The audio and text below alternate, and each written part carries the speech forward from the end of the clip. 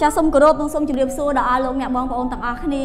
សង្ឃឹមថាអស់លោកអ្នកបងប្អូនទាំងអស់គ្នាសុខសប្បាយហើយនៅថ្ងៃនេះអ្វីដែលខ្ញុំចង់ជូនដល់លោកអ្នកបងប្អូនទាំងអស់គ្នាអ្វីដែលខ្ញុំចង់មកដើម្បីលើកទឹកចិត្តដល់អស់លោកអ្នកបងប្អូនទាំងអស់គ្នាយើងនឹងនិយាយអំពីការដែលយើងប្រកាសអំពីសេចក្តីជំនឿប៉ុន្តែមុនដែលយើងប្រកាសអំពីសេចក្តីជំនឿខ្ញុំចង់ជូនលោកអ្នកបងប្អូនទាំងអស់គ្នាឲ្យយល់អំពីសេចក្តីជំនឿថាតើស្អីគេដែលជាសេចក្តីជំនឿនៅក្នុងបទគម្ពីរហេព្រើរជំពូកទី11ខទី11ព្រះអង្គមានប្រាប់បន្ទូលថាអញ្ចេះ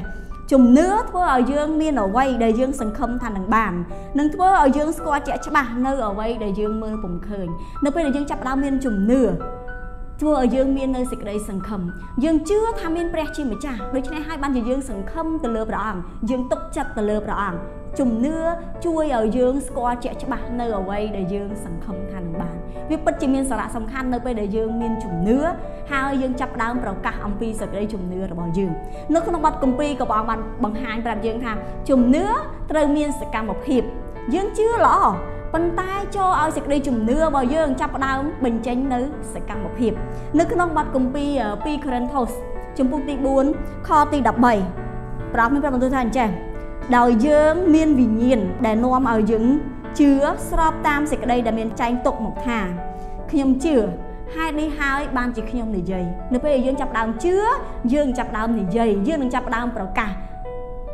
យើងក៏ជឿដែរហេតុនេះហើយបានជាយើងនិយាយលោកអ្នកបងប្អូនក៏ជឿដែរហេតុនេះហើយបានជាយើងចាប់ដើមនិយាយយើងក៏ជឿទៅលើព្រះបន្ទូលរបស់ព្រះអង្គដែរហេតុនេះហើយបានជាយើងចាប់ដើមប្រកាស អំពីព្រះបន្ទូលរបស់ព្រះអង្គលោកអ្នកបងប្អូននៅក្នុងរដូវកាលមួយចំនួននៅក្នុងជីវិតរបស់យើងសេចក្តីជំនឿពិតជាសំខាន់ហើយការដែលយើងប្រកាសអំពីសេចក្តីជំនឿរឹតតែសំខាន់ឡើងថែមទៀតប្រកាសអំពីព្រះបន្ទូលសន្យារបស់ព្រះអង្គរឹតតែសំខាន់ថែមទៀតដូច្នេះខ្ញុំចង់អញ្ជើញលោកអ្នកបងប្អូនទាំងអស់គ្នានៅក្នុងរដូវកាលនេះយើងចាប់ផ្ដើមប្រកាសអំពីព្រះបន្ទូលសន្យារបស់ព្រះអង្គដែលព្រះអង្គបានមានព្រះបន្ទូលសន្យាមកកាន់ជីវិតរបស់អស់លោកអ្នកបងប្អូនទាំងអស់គ្នាហើយនឹងខ្ញុំព្រះអង្គតែងតែមានព្រះបន្ទូលសន្យាព្រះអង្គតែងតែលើកនៅទឹកចិត្តអស់លោកអ្នកបងប្អូនទាំងអស់គ្នាហើយនឹងខ្ញុំប្រហែលជាព្រះអង្គបានមានព្រះបន្ទូលសន្យាអំពីសេចក្តីសង្ឃឹម